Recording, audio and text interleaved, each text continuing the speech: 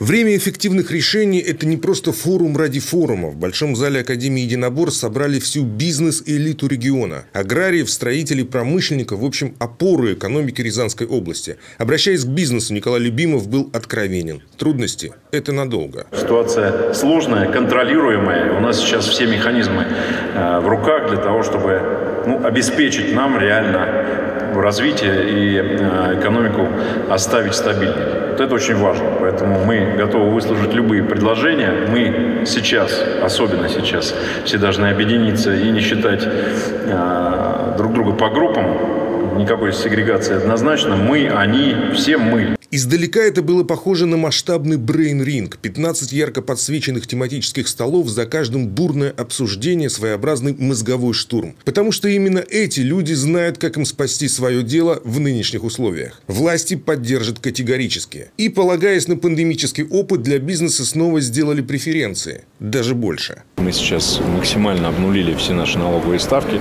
Ну, то, что мы можем э, в плане налогов, мы все сделали абсолютно. Вот это наши сегодняшние меры.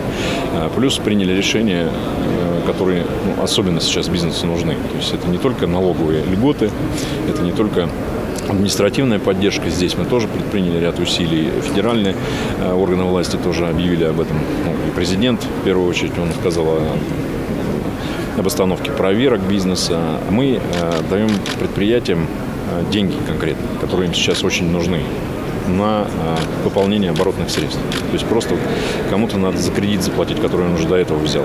Кому-то необходимы запасы срочно э, нарастить для того, чтобы продукцию выпускать. Деньги бизнесу дадут в виде кредитов, но по самым минимальным ставкам – 5-6%. Полмиллиарда на это у региона уже в резерве. Адресно, по словам губернатора, власти будут помогать предприятиям, что называется, в ручном режиме. Николай Любимов посетил каждую отраслевую площадку за столом аграриев. Обсуждение было особенно бурным по поддержке производителей мяса и молока. Государство взяло и говорит, э, торговый центр не больше 5%. Да. Сдержала, да? Что делает торговля?